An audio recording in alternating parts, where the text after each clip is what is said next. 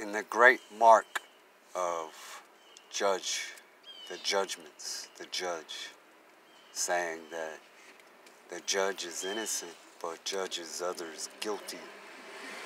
But the judge takes from the guilty person and is not guilty for it, but becomes binded with the guilty person's spirit. What happens to those spirits? It goes into children, and children are demented like the guilty person that the judge judged, and the judge is innocent by it, though the judge is the one that judged the guilty person and bonded himself to the spirit. But he took that spirit and practiced a divination amongst the children who do stupid things. A thief who is guilty is judged a thief. They pull the thief spirit off by the judge who was bonded by it and puts it into children, and children become thieves. And now children are doing stupid things because of the judge.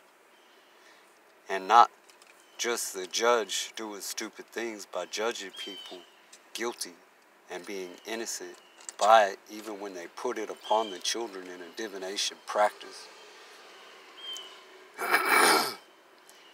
the people who pay for things that aren't worth that much and they pay a, a really hefty price and it's not worth that much. These are other things that the judges do, and these are the judges that are lifted high above us, saying that we are in a matrix, and each and every one of us has a watcher of heaven, for what takes place on earth also happens in heaven.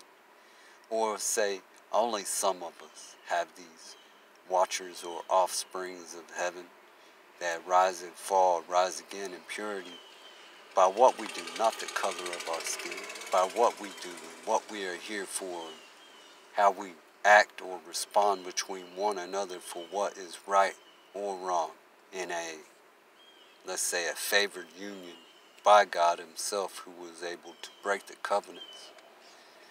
And this is this is the theory of the creation for a better law, not saying that is good at all because we are all guilty and we are all binded by our own judgments to the guilty people because judge and be judged.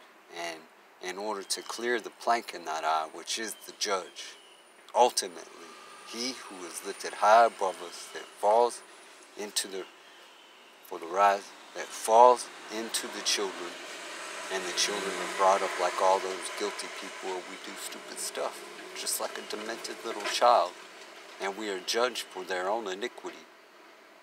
This is this is the the letters that I've written to the President of the United States about juries being picked and judges judging people foully, wrong, unjust, and unrighteous, and the jury pays or the people of the jury passes it to their children and the children pay. This is not right. This is not fair.